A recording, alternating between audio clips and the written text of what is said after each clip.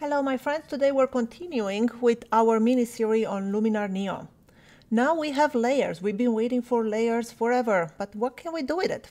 Well, I am going to show you how I would use layers in Luminar Neo. I will start with this image over here, I will go to edit. And what I want to do, I want to make the sky more dramatic. I do not want to change the sky, I just want to improve this sky. So how can I use layers to do that? Well, I will show you. I'll go, the layers are on the left panel over here. I'll go to plus, and what I want to do is add the same image. So now we have two layers of the same exact image. Well, you may say, Skyler, how will that help my sky? It's the same sky. Well, here is how. I'll go to my second layer, and then I'll go to layer properties over here on the right, and I will change the blending mode from normal to multiply. And now my whole image is more dramatic, but especially the sky. So what I want to do, I want to only apply it to the sky and maybe the mountains over here. So I'll take my brush tool, strength, I'll go to 100, and I will just paint it right over here. All right, let's see now. Now we have the before and after. And that is a lot better, I believe, before and after.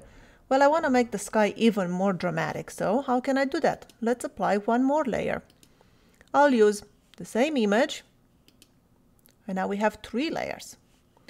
So on the topmost layer, I'll go and change the blending mode again to multiply. And this time, I don't want to apply it to the rocks over here and the foreground, just the sky. So I will use my paintbrush and I will only paint it on the sky.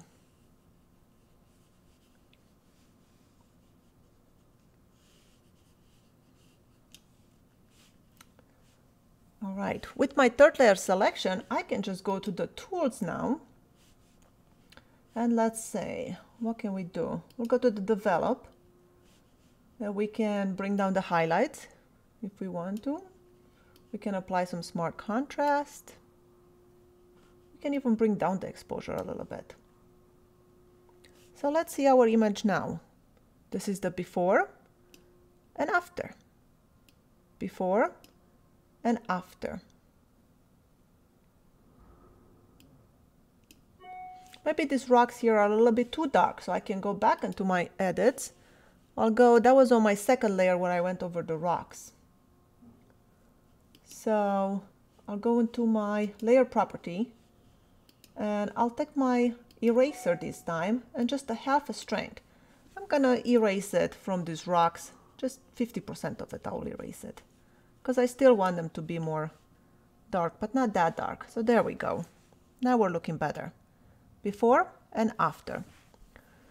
Let's do a different example. What else can we do with layers? Well, I will Let's do something creative. I'll take this photo of coffee that I took the other day and I'll go to edit and let's pick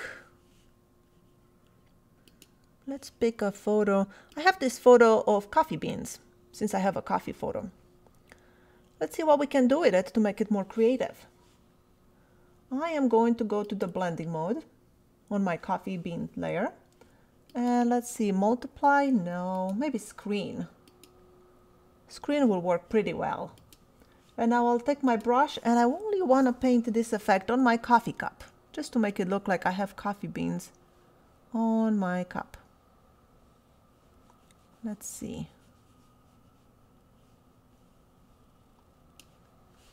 There you go.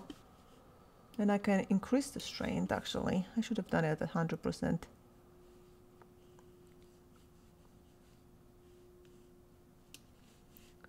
There you go. So now I have coffee beans on my cup. That was the before and after. What else can I do? Let's see. Why don't we put one of these uh, lens flares? I'm gonna choose this one. All right, that's not bad, but I wanna flip it. I can flip it right over here. So that's horizontally, this will be vertically. Um, I want it like that. So this is a screen blend mode. That's pretty good. I don't want to see that much of a flare here. So what I am going to do, I'm going to move it, but then just stretch it this way. There you go.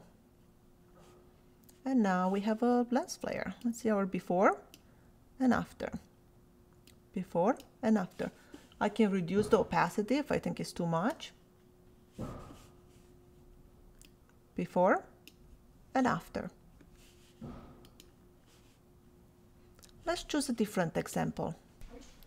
What else can we do with layers? Let's choose this flower image. And for this one, we'll go to Edit. And let's say we want to put a texture. I will choose this texture. Now this texture, it's on normal blend mode. I'll switch it to multiply. But let's say I don't want to apply it so much on the flowers. Then I will go to the erase tool, 50% strength, and I will remove some from the flowers.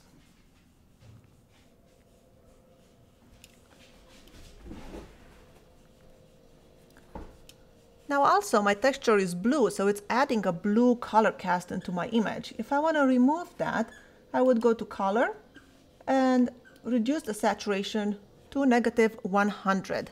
And now this layer will have no color, just the texture apply. And this is how you apply a texture with layers in Luminar Neo. I hope this was helpful and uh, thank you so much for watching. My name is Skyler Ewing and I will see you in my next video.